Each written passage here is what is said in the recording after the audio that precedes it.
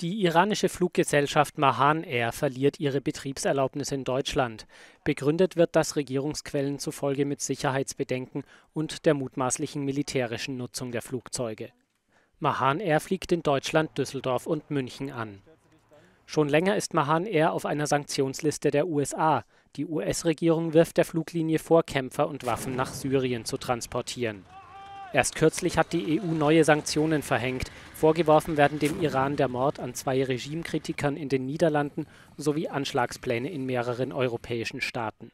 In Deutschland war außerdem ein mutmaßlicher iranischer Spion in der Bundeswehr aufgeflogen. Irans Regierung wies die Vorwürfe zurück